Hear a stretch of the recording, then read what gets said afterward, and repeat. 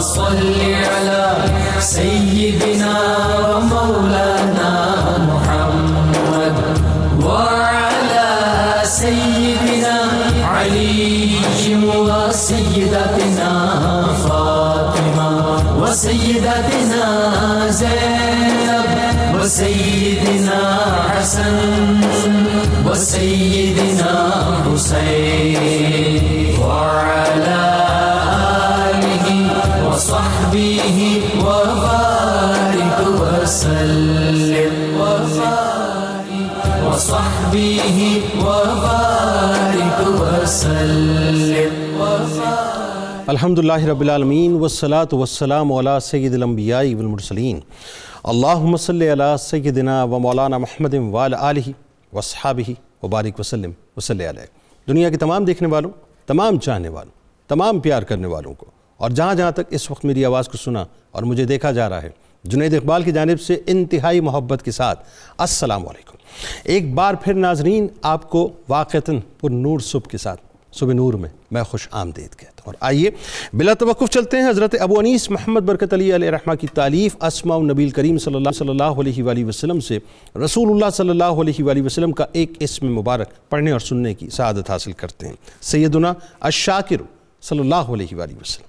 हमारे सरदार, अल्लाह ताला का शुक्र अदा फरमाने वाले। दरूद सलाम भेजे अल्लाह आप सल्लल्लाहु अलैहि वसल्लम पर। आप सल्लल्लाहु अलैहि वसल्लम के आले पाक और साहब कराम ताला अलैहिम अजमईन पर। अल्लाह तबारक व तआला का इरशाद है कि अगर तुम मेरा शुक्र अदा करोगे तो मैं उसमें अफ़ा कर दूँगा। सैदना अब्दुल्ला इबन अब्बास रदी अल्लाह ताला अन्हुमा से रिवायत है कि हुजूर नबी करीम सल्लल्लाहु अलैहि वसल्लम ने इरशाद फरमाया कि जिसको चार चीज़ें अता हुई, उसे दुनिया व आखरत की खैर अता हुई। अल्लाह की नेमतों पर शुक्र अदा करने वाला दिल, ज़िक्र से तर ज़ुबान मसाइब पर सब्र करने वाला जिस्म और जानो माल आबरू में ख़यानत न करने वाली बीवी। नाजरीन कराम, आज वाक़ता शुक्र करने का दिल है, अपने सजदों को तवील करने का दिन है नाजरीन। आज वो दिन है कि जिस दिन अल्लाह तबारक ताली की बस नेमतों का शुक्र अदा करते चले जाइए, क्योंकि आज का दिन तारीख़ में तेईस मार्च की तारीख से रकम किया गया है। वक्त करता है परवरिश बरसों। हादसा एकदम नहीं होता। आज का दिन नाजरीन, पाकिस्तान और पाकिस्तानियों की तारीख का अहम तरीन दिन है। ये वो दिन है जब फिजाओं में वो करारदाद गूंजी, जो कारखाना कुदरत में अजल से लिखी गई थी जिसका इजहार एक हज़ार साल पहले अलबैरूनी ने किया और जिसका शूर मुजद अल्फिसानी रहमा ने दिया और जिसकी तकमील का सहरा अल्लाह तबारक ताली ने कायद आज़म मोहम्मद अली जना अना रहमा के सर पर सजाया। नाजिन कराम, आइए ज़रा तस्वुर ही तस्वुर में चलते हैं लाहौर के मंटो पार्क में। आइए ज़रा तस्वुर ही तस्वुर में मीनार पाकिस्तान के साय में खड़े होते हैं। आइए ज़रा तस्वुर ही तस्वुर में उस मट्टी को अपनी आँखों का सुरमा बनाते हैं। आइए ज़रा तस्वुर ही तस्वुर में। उन फ़िज़ाओं की खुशबू को महसूस करते हैं। आइए ज़रा तस्वुर ही तस्वुर में नाजरीन, उस ज़मीन को सजदा गाह बनाते हैं। और आइए नाजरीन तस्वुर ही तस्वुर में उस ज़मीन को अपने लिए सजदागाह बनाकर उसे, उसके चप्पे चप्पे को बोसा देने की कोशिश करते हैं। जहाँ 23 मार्च 1940 को बरसों से ग़ुलामी की जंजीरें पहने लाखों की तादाद में आज़ाद वतन के मतवाले आँखों में आंसुओं के मोती लिए और दिलों की धड़कन तेज़ किए। जोश व जज्बे के साथ बिला इम्तियाज़ रंग नस्ल एक मकसद की खातिर अपने परचम के साय तले इकट्ठे थे और उनके लबों पर हर तासुब से बाला बस एक ही नारा था कि लेके रहेंगे पाकिस्तान, बन के रहेगा पाकिस्तान पाकिस्तान जिंदाबाद पाकिस्तान जिंदाबाद। आइए नाजीन आज उन मोसनान कौम मिलत से तजदीद अहद वफा करते हैं, जो अपना सब कुछ लुटाकर हमें आबाद कर गए, जो खुद बेघर थे मगर हमें घर देकर चले गए, जो अपने लहू से हम, हमारे घरों के चरागों को नाजरीन रोशन करके चले गए, जो खुद काटे गए, मगर हमें मुश्तमा करके चले गए। मुंशी अब्दुलरहमान अपनी किताब में नाजरीन बड़ा कमाल वाक़ लिखते हैं, किरदार कायद अज़म में, कि वो वाक़ ऐसा है नाजरीन कि जब मैं इस वाक़े को पढ़ रहा था तो मुझे पता चला कि वो लहर किस अंदाज से और किस शिद्दत से फैली थी कि आज जो दो कौमी नज़रिए पर कलाम करते हैं और बात करते हैं और उसको रद्द करते हैं। ज़रा सुने कि इस वाक़े में एक देहाती बच्चा क्या बतलाता है। वो लिखते हैं कि लंबे सफ़र की वजह से बैठे बैठे कायद अज़म मोहम्मद अली जना रहमत थक चुके थे, मोटर से उतरे चाय पीने के लिए तो दूर देखा कि एक लड़का जिसके बदन के ऊपर फटे पुराने कपड़े थे। वो अपने यानी जिस्म को जो है उन कपड़ों से ढापे हुआ था।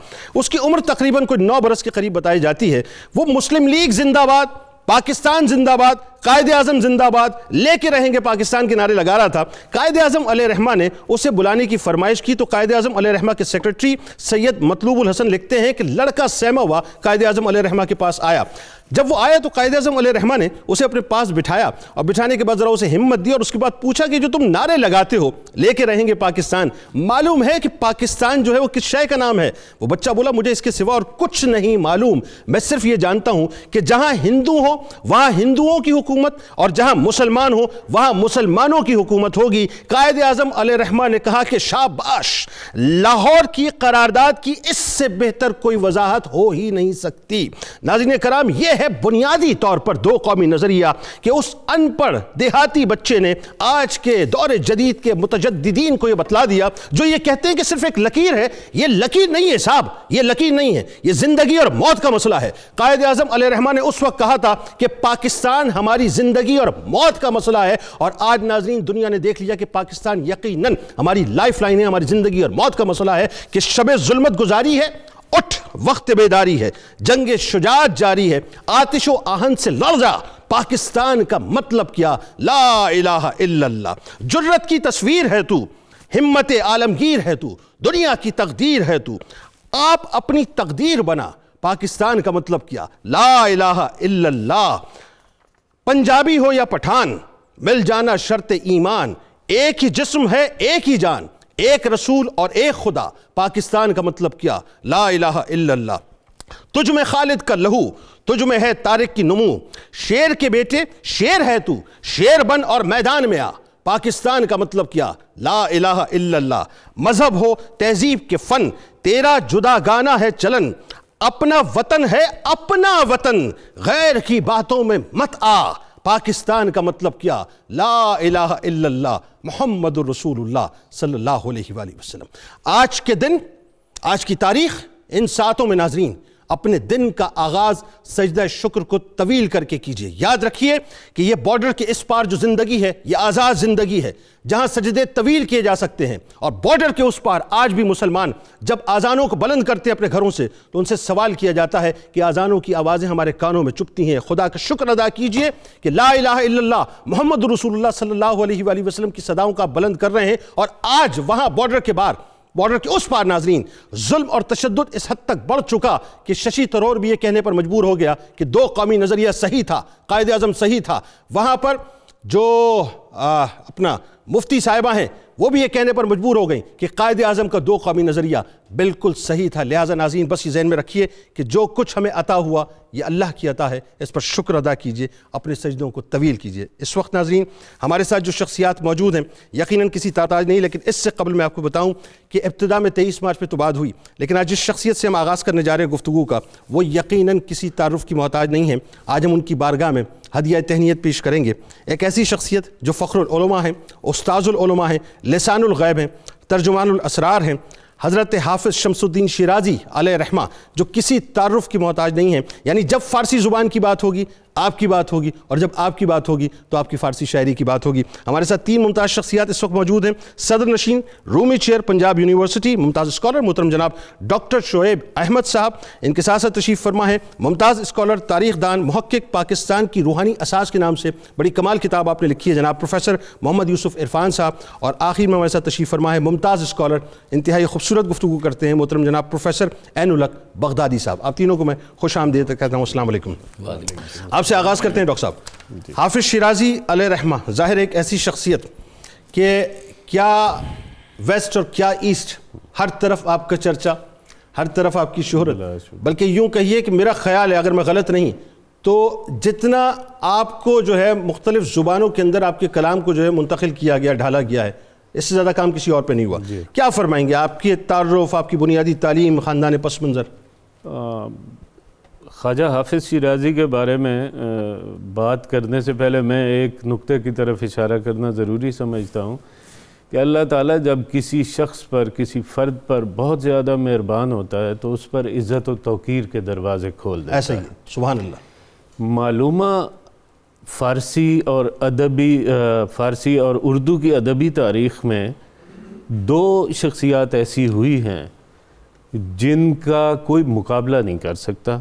दोनों फ़ारसी की हैं एक है मौलाना रूम एक है हाफिज़ शिराजी। अच्छा दोनों में यानी आप दुनिया में देखें लाखों हज़ारों मौलाना होंगे। लेकिन उस शख्स को ये अजीब एजाज़ हासिल है कि जहाँ कहीं भी नीम खानदा तबके में बैठ के भी आप कहेंगे कि मौलाना ने यूँ फरमाया तो उससे मुराद मौलाना रूम होगा कोई और मौलाना। सुबहान अल्लाह बिल्कुल इसी तरह हाफिज शिराजी यानी दुनिया में लाखों हाफिज मौजूद हैं। लेकिन जहाँ कहीं भी नीम खानदा या कम खानदा तबके में भी बैठ के आप ये बात करेंगे कि हाफिज शिराजी हाफिज ने यूँ कहा है तो उससे मुराद होगा कि ये हाफिज शिराजी ने यानी वो हाफिज साहब का सिर्फ़ लफ्ज हाफिज आएगा और हाँ वाह वाह सुबहान ये एक अजीब इम्तियाज़ अल्लाह ताला ने इनको अता किया। इनके वालद गिरामी बहाउद्दीन इस्फहान से हम्म, नकल मकानी करके तशरीफ़ लाए थे शिराज में। ताजर पेशा थे मैं उन बेशुमार कहानियों से जो मंसूब हैं किसी भी बड़े आदमी से मंसूब हो जाती हैं उनको मैं नज़रअंदाज करूँगा क्योंकि हम किसी मुतनाज़ा गुफ्तु में नहीं पढ़ना चाहते। बहरहाल इनके वालद गिरामी बहुत बड़े आलम दीन थे। इसमें कोई शक व शुबे की गुंजाइश नहीं है। तमाम मौरख मुतफिक हैं इस बात पे। ये तशरीफ़ लाए नकल मकानी करके शिराज में। शिराज में पैदाइश हुई हाफिज़ शिराजी की। हाफिज़ शिराजी का नाम रखा गया शमसुद्दीन मोहम्मद। हम्म, ठीक। और इनका लकब हुआ इनके हिफ्ज़ कुरान की वजह से। बड़े लोगों के साथ एक ये अजीब अलमिया हुआ है कहीं कहीं और ये अजीब इत्तेफाक हुआ है हाफिज़ के साथ कि हाफिज़ से पहले जो बड़े लोग हुए हैं उनके ज़िंदगी के हालात बड़ी तफसील से मिलते हैं। हाफिज़ के हम असर जो बड़े लोग हुए हैं उनके हालात ज़िंदगी बड़ी तफसील से मिलते हैं। बाद वालों के हालात ज़िंदगी उसी तरह मुफसल हैं।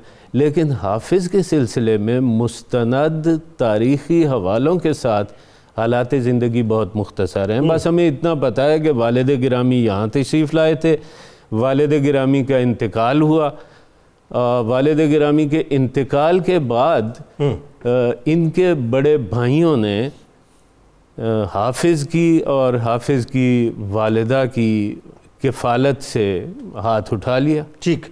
चुनाचे हाफिज़ शिराजी अपनी कम सिनी के बावजूद जिन्हें मैं कहूँगा ख्वाजा हाफिज़ शिराजी आगे चल के इंशाल्लाह हम गुफ्तगू करेंगे अपनी कम सिनी के बावजूद तरह तरह की तकलीफ़ दे मज़दूरियाँ और मेहनत करके उन्होंने आखिरी सांस तक अपनी वालिदा की खिदमत की। अल्लाह अकबर। और ये शायद उसी का सिला था और वो जो हिफ्स कुरान आपने कर लिया था 20 साल की उम्र में तो हिफ्स कुरान की वजह से सीना इतना रोशन हो गया था। कहानियाँ ये भी मंसूब हैं कि जी एक वहाँ फ़ारसी के मशहूर शायर हैं बाबा कोही।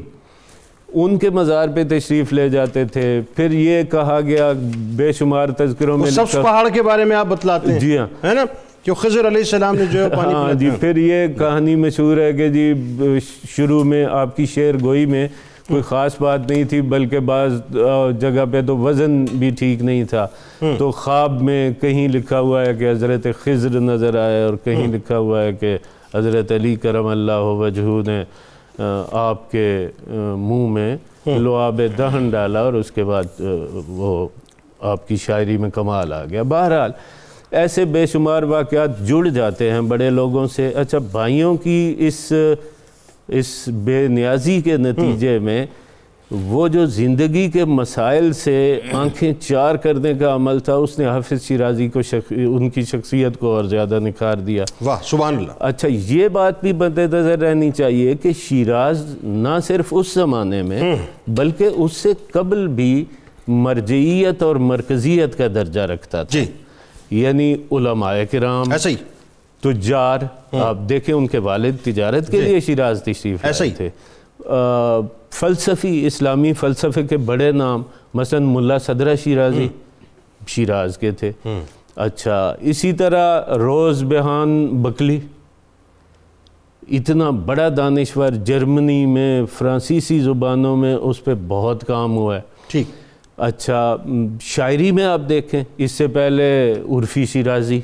अल्लाह। यानी कसायद उर्फ़ी जैसा कसीदा फारसी अदब में और किसी ने नहीं लिखा। शेख सादी पे आपने प्रोग्राम किया। जनाब जनाब आप ही के साथ क्या बात? आप शेख सादी की गुलिस्तान उठा लें बोस्तान उठा लें। अल्लाह अल्लाह अल्लाह। ये वो लोग थे जो वहाँ मौजूद थे या इससे पहले आए थे? यानी वो यूँ कह लीजिए कि उल्म फ़नून का जो है मरकज था बुनियादी मरकज था दूसरी राय नहीं। अच्छा प्रोफेसर अब ये बताइए कि एक जो बात हवाला दिया वो मैं मैं चाहता हूँ उस पर रुक के थोड़ा सा कलाम भी हो जाए। यानी बचपन में आपकी आलम ये फ़ख्र फाका का कि आप जो आपकी वालदा ने कहीं अगर आपको काम पर लगवाया तो वो बदले में सिर्फ़ खाना पीना देता था और बेानतहा जुल्म तशद करता था वो शख्स। और फिर उसके बाद ज़ाहिर है जब आपने ये तलब चूँकि तालीम की थी तो रात भर आप जागा करते थे फिर उसके बाद आटा गूंदा करते थे और फिर उसके बाद मदरसे जाया करते थे तालीम के लिए और फिर जो कमाते उसके तीन हिस्से यानी एक हिस्सा अपना और अपनी वालदा का एक मदरसे में दे देते थे फिर एक सदका खैरात। क्या मतलब तकालीफ से निकल के फिर वही बात है कि आज दुनिया जो है वो सर उठा के देखती है। हज़रत ख्वाजा हाफिज़ शिराजी अलैहि रहमत जी। कहते हैं कि मुश्क जो है जितनी मसली जाए रगड़ी जाए उतनी खुशबू फैलती है। अल्लाह ज़िंदगी की हकीकत को देखने वाला ही हकीकत दिखाता है। हाफिज़ शिराजी जो हैं इन्होंने ज़िंदगी को तसन्नो से नहीं देखा बनावट से नहीं देखा।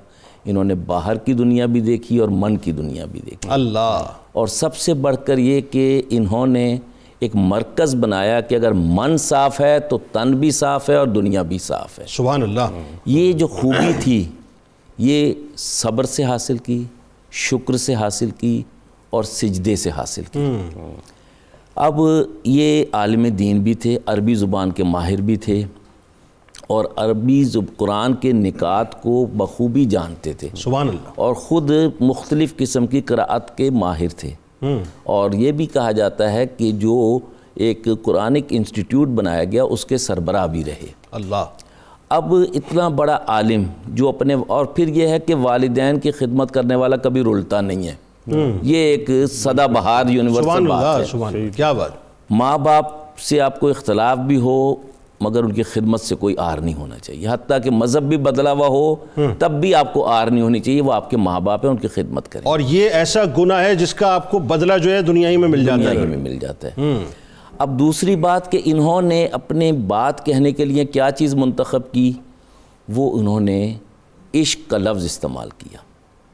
अब वो इश्क जो है एक आम लफ्ज़ है हर एक को समझ में आता है और उसी के हवाले से तमसीलात इस्तेमाल की। बिल्कुल ठीक। उसी के हवाले से असलाहत इस्तेमाल की मगर इस मजाजी इश्क को हकीकी इश्क में ढाला। जैसे कि कुरान में कहा गया है कद व कद अफलाह मन जक्काहा व कद ख्वाब मन दस्साहा। जिसने अपना मन साफ़ कर लिया वही साफ़ है। क्या बात। वही कामयाब है। अब इस चीज़ को देखें कि इन्होंने इस इश्क को किसी कैसे रंग में ढाला है। जी। मसलन बर दरे मैं खाना इश्क। बर दरे मैं खाना इश्क ए मलक तस्बीह को।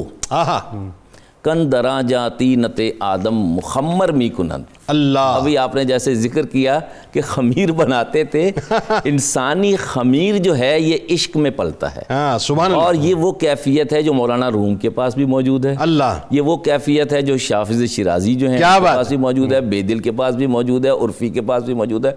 और सबसे बढ़कर हमारे मौजूदा दौर के शायर अलामा इकबाल के पास भी मौजूद सुबहान अल्लाह सुबहान अल्लाह है इश्क बिना वो मौलाना मीर का एक बड़ा प्यारा शेर है।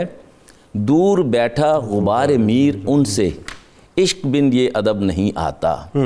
अब ये इश्क की मनाजिल जो हैं वो इनके शेरों में ढाली गई हैं। अच्छा वो आपकी बात आगे बढ़ती है मैं अभी ये देख रहा था। वो जो इनके अशार का तर्जुमा मेरे सामने था कि तू है और तोबा है। जी। तू है और तूबा है। तूबा है। तुझे जन्नत का ख्याल है मैं हूँ और दोस्त का कद। मुझे उसके दीदार का ख्याल है। ख्याल। और हर किसी की फ़िक्र उसकी हिम्मत के अंदाजे के मुताबिक हाँ होती है। क्या कमाल बात बिल्कुल सही है बिल्कुल सही। आदमी वही पाता है जो अंदर होता है। और जो इसकी जितनी इस्तात होती है कोई एक मील जाता है कोई सौ मील सफ़र करता है। निगाह जहाँ तक जाएगी।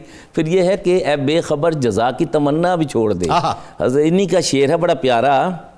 मयान आशिक व माशूक। मयान आशिक व माशूक। हेच हायल नीस तो खुद हिजाब खुदी हाफिज। अजमया। बरखे अल्लाह। कि आपकी ज़ात जो है आपकी ख्वाहिश जो है आपकी तमन्नाएँ जो हैं वो आपकी मुलाकात में हायल होती हैं। अल्लाह अकबर। आप जब आएँ तो जैसे एक बड़ा प्यारा शेर है कि अगर आपको मेहमान की ज़रूरत है तो मेहमान के लिए घर को साफ़ भी करना पड़ता है। वो शायर का मुझे इस वक्त नाम भूल रहा है मगर यह है कि इन्होंने अपने मन को साफ़ किया तो फिर आपने देखा कि आज भी इनका नाम पूरी दुनिया में लिया जाता है।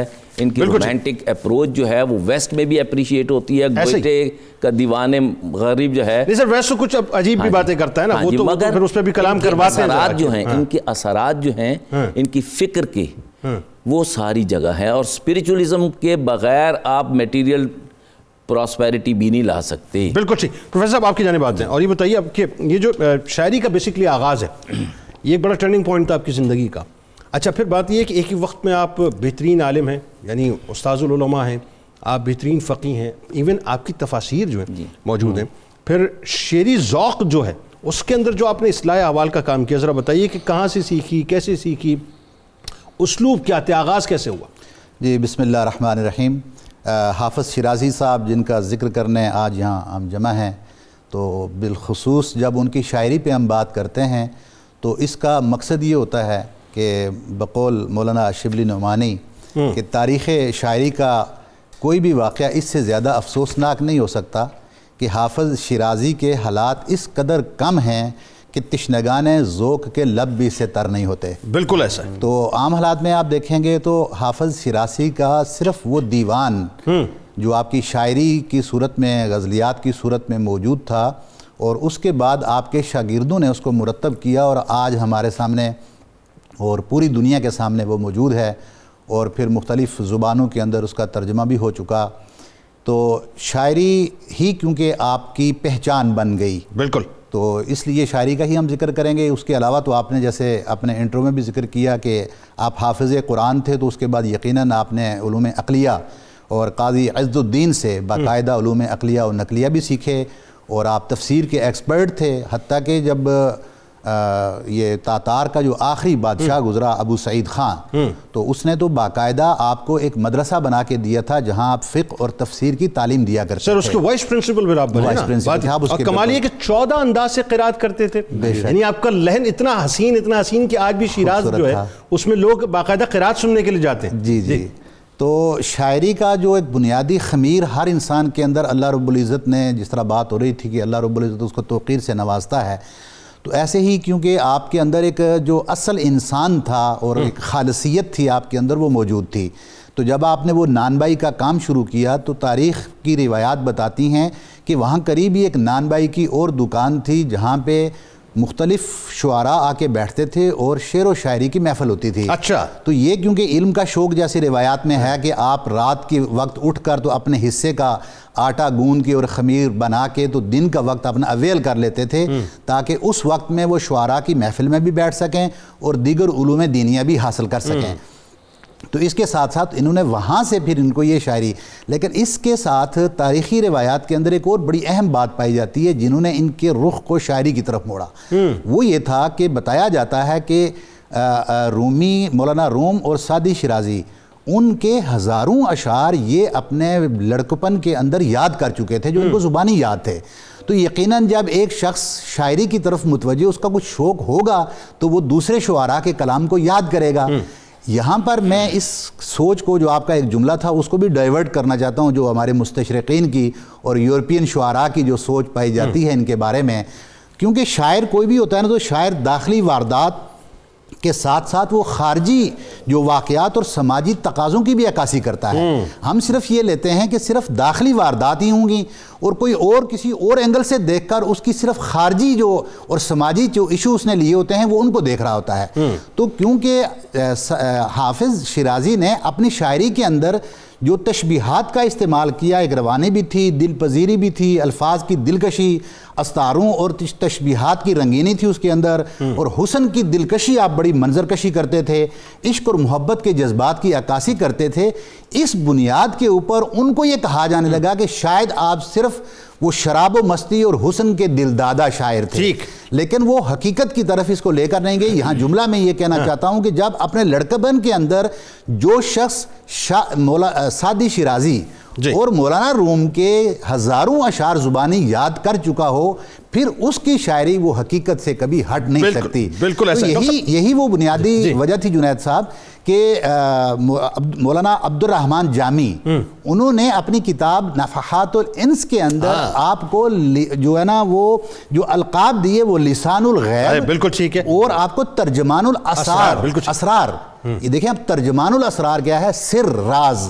तो वो हकीकत के राज यानी रब की मार्फत रब की पहचान रब के ताल्लुक इसके राज की तर्जुमानी करने वाले आप थे आपने अपनी शायरी के अंदर ये बिल्कुल। अच्छा इसमें डॉक्टर साहब ये जो ये जो रंग है जिसका ज़िक्र अभी फरमा रहे हैं आप प्रोफेसर साहब ये रंग आपकी शायरी में नज़र आता है फिर आपकी शख्सियत का अक्स उसमें जो है वो महसूस होता है कि आप एक जगह फरमाते हैं ना इसका तर्जुमा ये है कि मैं जो कि अपनी बेनियाजी की वजह से दोनों जहानों के सामने सर नहीं झुकाता लेकिन मेरी गर्दन उस हकीकी दोस्त के एहसानों के जेर बार है। यानी आप जो है वो दुनिया को हेच समझते थे। और ताकत बस अल्लाह की उसी को जो है वो मानते थे और उसी के आगे सर झुकाते थे। जी। एक दो चीज़ों की तरफ़ इशारा करना ज़रूरी है। आपके अकाबिर उलमा से आपकी नशस्त रही आपने इकतसाब किया लेकिन मौलाना कवामुद्दीन अब्दुल्ला आपके ऐसे उस्ताद हैं जिनसे आपको बेपनाह अकीदत व मोहब्बत थी और इससे हमारे अहद के और महक्क ने ये नतीजा भी निकाला कि हाफिज़ शायद उनके मुरीद थे जो कि दुरुस्त नहीं है। हम्म, अच्छा। हाँ, हाफिज़ उनके मुरीद नहीं थे अलबत्त बेपनाह अकीदत व मोहब्बत रखते थे। उन्होंने ही हाफिज़ की वफ़ात के बाद ख्वाजा हाफिज़ शिराजी की वफ़ात के बाद मोहम्मद गुल अंदाम एक शख्स हुआ है बड़ा बाज़ौक शायर है। उसके ज़िम्मे लगाया कि आप ख्वाजा हाफिज़ शिराजी का दीवान मुरतब मुरतब करें ठीक है। चुनाचे ये कोई सात सौ से पाँच सौ से कम गज़लें हैं। उसमें इलाहाक बहुत ज़्यादा है। इधर इधर उधर से शामिल की गई हैं। कहीं दुनिया में ऐसा नहीं हुआ कि इतने कम ज़ख़ीरा कलाम पे इतनी बेमिसाल शोहरत हासिल अल्लाह अच्छा अब ये है कि एक और पहलू बहुत ज़बरदस्त है जिसकी तरफ़ इशारा ज़रूरी है वो ये कि हाफिज़ की ज़िंदगी में बेशक सरहदों से पार हाफिज़ की शोहरत फैल चुकी थी लेकिन हाफिज़ की बुनियादी पहचान कोई शायर होना नहीं था। हाँ। हाफिज़ की बुनियादी पहचान एक आलम बादशाह की थी। शब जिंदादार आदमी थे। सहर खेज थे रियाकारी से शदीद चिड़ थी बहुत मेहनती आदमी थे मुसल्ले पे रहते थे ज़्यादातर वक्त। और हाफिज़ कुरान थे और आपने बताया आप अभी ज़िक्र कर रहे थे चौदह ज़ुबानों में चौदह लहजों में किरत करते थे। और मस्जिद अतीक में दरस कुरान दिया करते थे। इसके अलावा हम्म, हज़रत ने बताया कि कुरान महल था कुरान महल के मोतमिम थे उसके बिल्कुल ऐसा। बिल्कुल ऐसा। इस पर गुफ्तु करते हैं। और ज़ाहिर एक सवाल जो बड़ा अहम है कि हम चूँकि बर सग़ीर पाक हिंद से ताल्लुक़ रखने वाले लोग हैं हम पे जो इन्फ्लुएंस है हाफिज़ साहब रहमा का उस पर यकीन मैं आपसे सवाल करूँगा। एक कॉलर हमारे साथ है, मियाँ मोहम्मद असलम साहब अहमदपुर शर्किया से। अस्सलाम वालेकुम। वालेकुम जनाब साहब कैसे हैं? जी अलहमदिल्ला जनाब आप ठीक हैं? अल्हम्दुलिल्लाह प्रोग्राम बहुत अच्छा है जी। अल्लाह आपको सलामत रखे। आमीन। जनाब क्या पूछना चाहते हैं?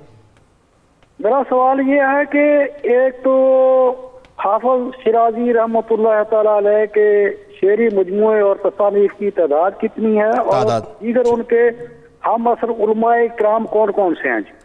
ठीक है जी बिल्कुल आपको बताते हैं। आपका बहुत शुक्रिया। आपने हमें ज्वाइन किया। जनाब चलते हैं दुरूद पाक की जानिब। आप वहाँ मौजूद हैं।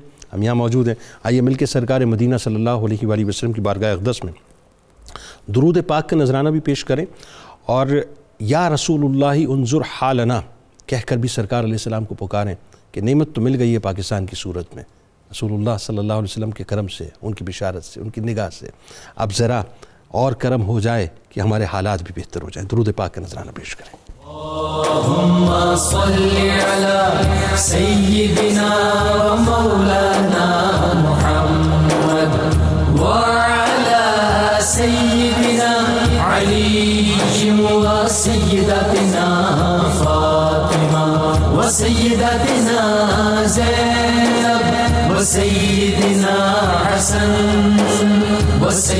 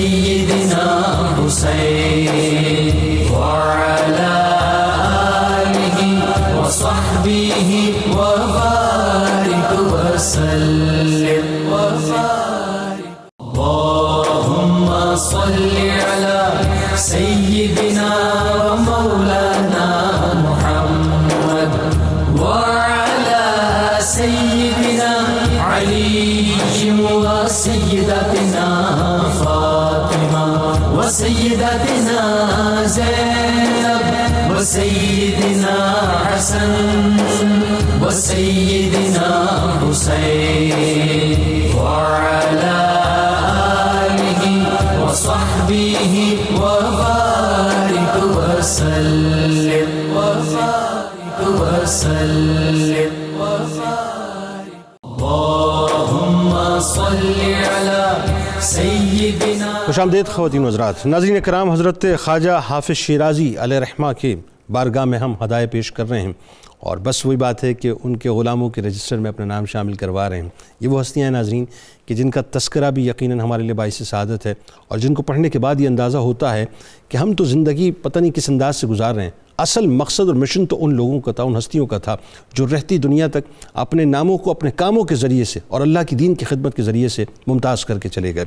प्रोफेसर ये बताइए कि आप, ये जो हाफिज़ साहब ने इसलाह आवाल के हवाले से बहुत काम किया अपनी शायरी में और आप ये देखिए कि आपकी शायरी के अंदर हमें जो है, वो कहीं ना कहीं असलाह के पहलू जो है बहुत ज़्यादा नज़र आते हैं। एक जगह आप फरमाते हैं कि हमारा दिल उसकी मोहब्बत का खेमा है और आँख उसके चेहरे की आईनादार यानी उसी को देखने वाली अब मार्फत का आदमी जो है इसको किसी और अंदाज से देखेगा। और जो वही बात है ज़ाहिर का आदमी है जो मगरब चूँकि ज़ाहिर का है तो मगरब इसको किसी और अंदाज से देखेगा। क्या फरमाएँगे? जिधर देखता हूँ उधर तू ही तू है।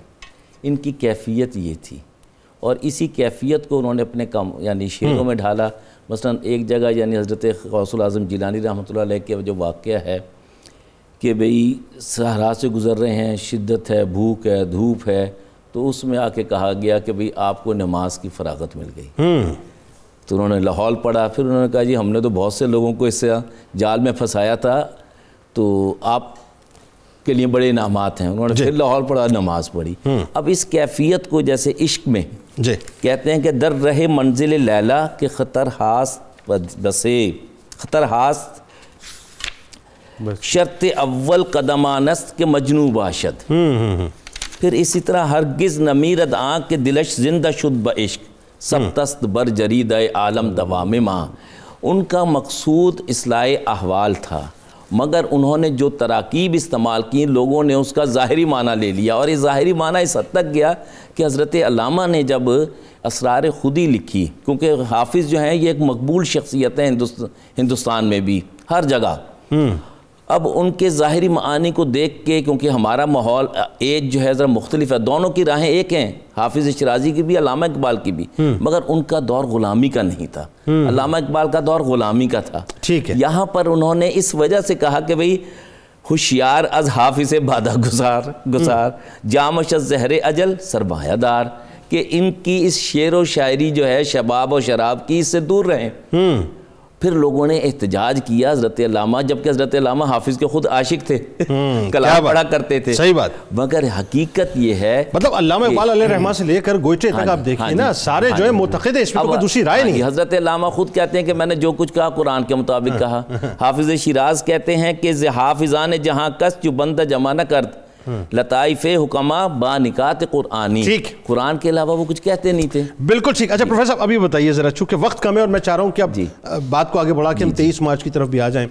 कि एक जगह हाफिज़ साहब जो हैं वो ख़ुद ये फरमाते हैं कि हाफिज़ का ज़ाहरी फ़ख्र गुरबत न देख उसका सीना उसके दोस्त की मोहब्बत का ख़जाना है। यानी क्या कमाल बात है। आप सिर्फ़ एक जुमले के अंदर ऐसी ऐसी लज्जतें कि जिसको आप बयान नहीं कर सकते। जी। सर यही वो मोहब्बत थी हम्म। और ये वो मार्फत की शराब थी कि जिसने आपको ऐसा नशा दिया हाँ। कि सारी ज़िंदगी आप इसमें मस्त रहे। हाँ। और आज तक भी अगर आप ज़िंदा हैं और आपका नाम ज़िंदा है तो उसकी बुनियादी वजह यही हम्म। मार्फत है। तो आपने जितनी भी आपकी शायरी उठा के आप देख लें तो उसके अंदर यही मार्फत पाई जाती है। मैं उसकी चंद मिसालें आपके सामने पेश करता हूँ। एक शेर में आप फरमाते हैं कि जबाग वसल तू बायद रियाज रिजवान आब जताब हिजर तू दारद शरार दोजख ताब। आप फरमाते हैं कि ए महबूब यानी महबूब की तारीफ़ करते हैं कि जब तेरा हुस्न व जमाल आ, किसी को दीदार उसका नसीब होता है और जब वो किसी को देखता है तो उसकी एक निगाह से हर तरफ़ जो इलाका है उसके अंदर हरियाली आ जाती है यानी जो आशिक जब उसको देखते हैं कि उनकी तबीयत शाद शाद बाग हो जाती है हम्म। शादमा हो जाती है तो वो ये कहकर उसके आगे कहते हैं कि जब तेरी जुदाई महबूब को फरमा कह रहे हैं कि जब तेरी जुदाई मिलती है तो उस जुदाई का नतीजा ये निकलता है कि लोग जहन्नुम के शरारों की तरह जो उसके शोले होते हैं उनकी तरह आग बगोला हो जाते हैं। यानी वो तेरी जुदाई को किसी सूरत में बर्दाश्त नहीं कर सकते। बुनियादी तौर पर यहाँ पर हाफिज ने वो हकीकी माना मुराद लिया है और हकीकी महबूब मुराद लिया है क्योंकि पूरी कायनात के अंदर वो ये समझते हैं कि रब ताला की एक तजल्ली है कि जिसने इस कायनात को खूबसूरत बना दिया है।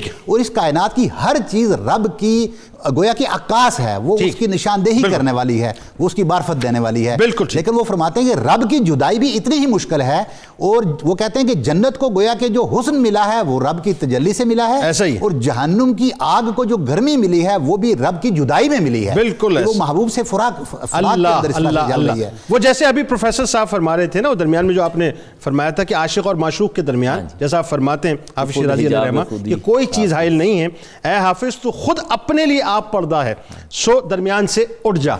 अच्छा जी अब आखिर में मैं चाहता हूँ ज़रा इस नोट को वाइंड अप करते हुए बर्र सग़ीर पाक हिंद में जो हाफिज शिराजी रहमा की एक मोहब्बत और एक रचाव नज़र आता है उसकी क्या वजह है इतना इन्फ्लुएंस पूरी दुनिया में वैसे तो हाफिज़ के बहुत मतदीन हैं लेकिन बर सग़ीर के लोग मोहब्बत करने वाले लोग हैं और बर सग़ीर के लोग मिजाजन सूफ़ी हैं। हाँ मिजाजन सूफी मिजाजन सूफ़ी सो हाफिज़ के असरात ये मुरतब हुए कि आप देखें सबसे बड़ी मिसाल है दीवान हाफिज़ से फ़ाल निकाली जाती थी और फ़ाल निकाली जाती है। हाँ। ये बाकायदा रिवायत है। ब्रिटिश म्यूज़ियम में अ, हमारे मुग़ल बादशाह का एक नुस्खा पड़ा है जिस पे मुख्तलिफ़ शहज़ादों ने अपनी अपनी जो फ़ालें निकाली हैं और जो दुरुस्त साबित हुई हैं वो लिखी हैं। वो हाफिज शिराजी उस जी हाफिज हाँ, हाँ, शिराजी के दीवान से। सो बरे सग़ीर के लोगों ने उन्हें मुर्शिद के तौर पे लिया। उन्हें अपने दाखिली सफ़ाई और बातनी उपज के लिए लिया और उसकी वजूहत ज़ाहिर है कि वो जो पैगाम था ज़ाहिर है वै- वैसे किसी से कैसे मोहब्बत की जा सकती है वालियाना मोहब्बत? वो जो पैगाम था उनका जिसमें सबसे नुमायाँ बात है इंसान दोस्ती की। आहा। यानी आप एक तो रियाकारी से बहुत तंग थे दुनिया की बेसबाती आप पे बहुत खुल गई थी और इंसान दोस्ती का दर्स देते थे। मैं एक दो शेर देखिए ज़रा। फरमाते हैं मबाश दर पे आज़ारो हर चे खाही कौन? किसी को तकलीफ़ ना दो बाकी जो मर्ज़ी करो। अल्लाह। के दर शरीयत माँ गैर जिन गुनाही नीस्त। अल्लाह। क्योंकि हमारी शरीयत में इसके अलावा और कुछ गुनाह नहीं है। एक और शेर देखें आप। कि हरगिज़ पढ़ा जा चुका है खैर खूबसूरत बात है ऐब पोशी के हवाले से बेपीरे मैं कदे गुफ्तम के चीज़ राह। निजात मैंने अपने रूहानी मुर्शिद से ये पूछा कि निजात का रास्ता क्या है? तो उसने क्या जवाब दिया? बेखास्त जामे मयो गुफ्त ऐब पोशीदा अल्लाह। उस पर एक मस्ती की सी कैफियत तारी हुई और उसने कहा कि लोगों के ऐबों पे पर्दा डाल डाल दी। प्रोफेसर साहब तेईस मार्च। जी जी। आज का दिन तो ऐसा है जैसे कि मैंने इब्तदा में बात की कि अगर हम तस्वुर ही तस्वुर में सिर्फ़ मीनार पाकिस्तान के साय में जाके खड़े हों तो मेरा ख्याल है उससे ज़्यादा कैफ सुरूर कोई नहीं। कोई शक नहीं। कि यहाँ पर उन उन हस्तियों के मैं तो अच्छा मैं एक जुमला इब्तदा में अदा करना चाहता हूँ और सॉरी टू से बहुत माजरत के साथ। हम हम अकाबरीन पाकिस्तान में चंद एक नाम लिखते हैं। मेरा तो मानना यह है कि जिसने पाकिस्तान के लिए एक नारा भी एक बच्चे ने लगाया था वो, वो भी मेरे अकाबिर में शामिल में शामिल। क्या फरमाएँगे तेईस मार्च के दिन? अकाबरीन में शामिल है बड़ी दिलचस्प बात है कि शिराज का शहर जो है ये एक छावनी होती थी और मोहम्मद बिन कासिम ने आबाद किया था। अल्लाह। आए आए आए। हाँ सर ये तो ये तो अच्छा ये भी तारीख का एक हिस्सा है जी। जो हम बतलाते नहीं है सही तरह से। हाँ जी। जी जी बिल्कुल। अब दूसरी बात के हाफिज शिराज का दौर और था एज जिसे आप पीरियड कहते हैं इरा कहते हैं अहद। उसमें ग़ुलामी नहीं थी हज़रत अलामा ने भी वही काम किया मौलाना रूम ने भी वही काम किया। मगर यहाँ ग़ुलामी थी यहाँ पर तसवुफ़ के एक राह को एक जगह आगे कदम लेके गए हज़रत अलामा। मसलन फ़ना फिल्लाह की कैफियत जो है ये हमारा मरूफ और मकबूल मंजिल हुआ करती थी। ठीक। हज़रत अलामा का कहना है कि इस मंजिल पे पहुँच के लौट आओ। इस दुनिया को तुम्हारी ज़रूरत है। ठीक। क्योंकि इस्लाम की बुनियाद जो है वो रूहानी है। बिल्कुल सही। और इस रूहानी बुनियाद ही पाकिस्तान की बुनियाद बनी है। जन्ना सात सात साल में इतना बड़ा मार्का हो सकता था। मगर ये सात साल हमारी सात सौ साल की तारीख का निचोड़ है। कायद अज़म हों या अल्लामा इकबाल हों या सर सैद अहमद ख़ान हो मौलाना अकबर इलाहाबादी हो मौलाना जफ़र अली ख़ान हो या दीगर अकाबरी जौहर अली बरदरान हों या उलमा हो हमारे इन सबने पहली कोशिश की कि हिंदुस्तान सबका है। ठीक है। मिलजुल के रहें। बिल्कुल ठीक है। मगर हिंदू ने ये चाहा कि हम अपना रवायती अंदाज़ अपनाएँ कि यहाँ जो आया वो हिंदू बन के रहे वरना ख़त्म हो जाए। असल में तो वो छत्तीस सैंतीस का जो इलेक्शन था उसके बाद जाके सही मानों में एक्सपोज हुए ना उसमें उन्होंने अमलन जब मुसलमानों का रहना दो चार दो भर कर दिया कि हिंदू बन जाओ। गांधी की इबादत करो बिल्कुल बुतों की इबादत करो। और फिर फ़कत क्या था कि सात सूबों में हुकूमत थी। और इसमें भी देखें कि आप मुसलमानों का वोट उन्हें कहीं नहीं मिला। करारदाद पाकिस्तान का असल जो मकसूद है वो ये था कि कायदे आज़म चाहते थे कि भाई ये सूबाई मसला नहीं है ये नज़रियाती मसला ठीक है। है। और इसी की बुनियाद पर कश्मीर का मसला भी हल होना चाहिए। बिल्कुल ठीक और ये बड़ी इंपॉर्टेंट बात है। इसमें प्रोफेसर साहब थोड़ा सा बताइए ये ये ये जो आज जाके समझ आ रहा है ना कि दो कौमी नज़रिया क्या है? जरा बताइए लोगों को कि उस वक्त लोग साहब बड़ा वो कहते थे कि ये ये आज पता चल रहा है। में कितनी बड़ी आपकी, है? आपकी एक बात अभी थोड़ी देर पहले आपने की थी उसको आगे बढ़ा लूँगा इसके लिए और वही इसका पस मंज़र भी है और वही दो कौमी नज़रिए की बुनियाद भी है कि जो 1936-37 के जो इंतबात हुए हाँ। तो उसमें 11 सूबों के अंदर सात में तो वाज बरतरी कांग्रेस को मिली ऐसे ही। बाकी सूबों के अंदर भी कांग्रेस ने मखलूत हुकूमत कायम कर ली बिल्कुल ऐसे। और एक भी सूबे के अंदर पाकिस्तान जो मुस्लिम लीग थी इसको इख्तियार नहीं मिला इख्तियार नहीं मिला ज़ीरो। वहाँ से एक मायूसी आई लोगों के अंदर कि ये क्या हुआ लेकिन इस मायूसी ने एक बड़ा अहम पहलू यहाँ से जनरेट किया और क्रिएशन ये आई लोगों के अंदर कि जहाँ मुसलमानों को इस इकतदार से अलग रखने की वजह क्या है? ये मजलूम इनको क्यों बनाया गया है? तो वहाँ से ये दो कौमी नज़रिए की बुनियाद बनी कि मुसलमान एक अलग कौम है। अब जो आप किरारदाद लाहौर की अब हम बात करते हैं तो कायदे आज़म ने अपने सदारती खुतबे के अंदर जो बातें कही चीदा चीदा उसमें से मैं बयान जल्दी से कर देता हूँ। है। आपने बताया फरमाया कि हिंदू और मुसलमान दो अलग फलसफा मज़हब से ताल्लुक रखते हैं। दोनों की मुआशरत जुदा जुदा है दोनों का अदब एक दूसरे से मुख्तलिफ़ है। दोनों की शादियाँ एक दूसरे में नहीं होती एक दूसरे के साथ खाना नहीं खाते दोनों दो अलग तहजीबों से ताल्लुक रखते हैं जिनकी बुनियादें दो मुतजाद तस्वुरात पर हैं। दोनों का तस्वर हयात और तस्वर और तर्ज हयात अलग है। और दोनों दो अलग तारीखों से वलवला और विजदान हासिल करते हैं। मशाहिर अलग हैं तारीखी सरमाया जुदा है। फरमाया कि ऐसी दो कौमों को जहाँ पर एक कौम को बरतरी हासिल है अददी और एक को अकलीत हासिल है एक निज़ाम के तहत अगर हुकूमत में ले आएँगे तो यहाँ तबाही के सिवाय कुछ नहीं होगा। लिहाजा मुसलमान एक अलग कौम है। एक अलग वतन का इस यही यही मंजरनामा था। डॉक्टर साहब आखिर में वही बात है कुदरत की तरफ़ से बुनत थी एक तरफ़ तो ये मायूसी महरूमी छत्तीस सैंतीस के इलेक्शन के बाद दूसरी तरफ़ उनतालीस से लेकर पैंतालीस तक सेकंड वर्ल्ड वॉर। तो वो एक एक एक डिवाइन प्लान जो है वो आ गया था सामने। क्या क्या फरमाएँगे?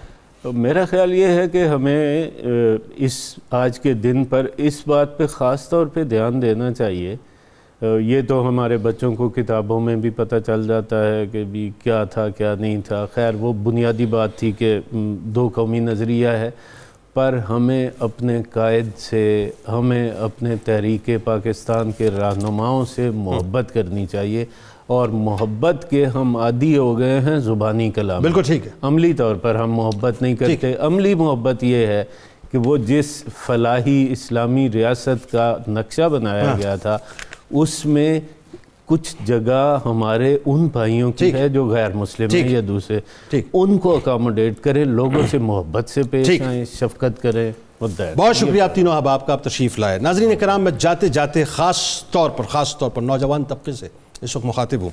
देखिए साहब इस पाकिस्तान में ये तय कर लीजिए मैं बार बार एक बात रिपीट करता हूँ और फिर करने जा रहा हूँ। आज तेईस मार्च के मौके पे कि फिफ्थ जनरेशन वॉर बपा हुई हुई है। Fifth generation warfare. और उस वॉरफेयर में हुई ये राय कि हमारी जो नज़रियाती असास है उसको किसी न किसी तौर से डैमेज करने की कोशिश की जा रही है। उसमें ज़ाहिर है मीडिया भी काम कर रहा है सोशल मीडिया भी काम कर रहा है, बहुत लोग काम कर रहे हैं। लेकिन याद रखिएगा, दो कौमी नज़रिया हमारी ज़िंदगी और मौत का मसला है। और आज आपको समझ आ जाना चाहिए कि सरहद के उस पार उस पार बैठे हुए लोग ये एक प्लान कर चुके हैं कि उन्हें अखंड भारत की तरफ़ जाना है। उन्हें हिंदुत्वा की जो उनका कंसेप्ट है, उसको जो है पूरा करना है। उन्होंने बुनियादी तौर पर बाबरी मस्जिद को शहीद करने के बाद राम मंदिर बना दिया। बस आखिरी जुमले में मिसरों की सूरत में कर रहा हूँ कि अपने मरकज से अगर दूर निकल जाओगे, खाक हो जाओगे, अफसानों में ढल जाओगे, अपने परचम का कहीं रंग भुला मत देना सुर्ख शोलों से जो खेलोगे तो जल जाओगे।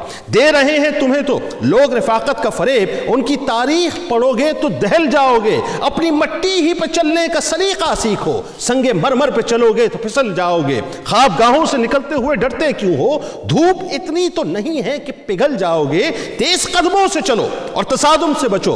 भीड़ में सुस्त चलोगे तो कुचल जाओगे। हम सफ़र ढूंढो, न रहबर का सहारा चाहो। ठोकरें खाओगे तो खुद ही समझ जाओगे। तुम हो, एक ज़िंदा हो, जावेद, रिवायत के चराग। तुम कोई शाम का सूरज हो जो ढल जाओगे। पाकिस्तानी साहब पाकिस्तान पर फख्र कीजिए और अल्लाह के इनाम पर सजदा रेज हो जाइए। आइए जनाब चलते हैं किताब शिफा की जानब। हर शख्स शख्स अपने वतन अज़ीज़ पाकिस्तान की सलामती बका के लिए अवल आखिर दरूद पाक के साथ ग्या सौ मरतबा। आयत करीमा, ला इलाहा इल्ला अंत सुबहानक, इन्नी कुंतु पढ़कर अल्लाह से दुआ मांगे। अल्लाह तबारक ताली खूब करम फरमाए। बस आखिर में मिलकर नारा लगाते हैं। बबांगे दोहल नारे इस दुआ इस उम्मीद इस यकीन के साथ इजाज़त दें कि ला युमिनु अहदुकुम हत्ता अकून अहब इलैहि मिन वालिदिही व वलदिही व नासी अजमईन अल्लाह ताला आपका हमारा पाकिस्तान का उम्मत मुस्लिमा का हामी नासिर हो साहब आज बबांगे दोहल नारा लगना चाहिए पाकिस्तान का मतलब क्या ला इलाहा इल्लल्लाह मुहम्मदुर रसूलुल्लाह सल्लल्लाहु अलैहि वसल्लम